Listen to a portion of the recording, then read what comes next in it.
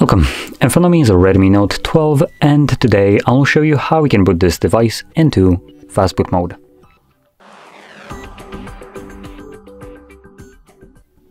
So to get started we're gonna hold power key and volume up, select power off, and once the phone turns off you wanna hold power key and volume down at the same time.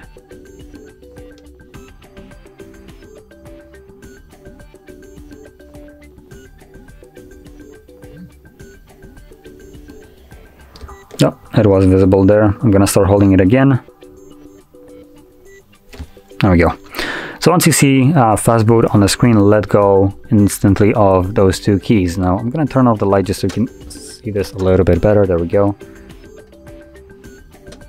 So I think it's a little bit more visible right now. There we go. So that is how you boot into fastboot mode. Now once you're done with this mode, all you need to do is hold power key to uh, leave it. So I'm gonna do so right now.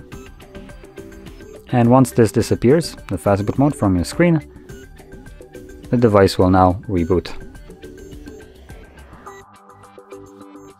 And as you can see, we are now back in Android. So if you found this video helpful, don't forget to hit like, subscribe, and thanks for watching.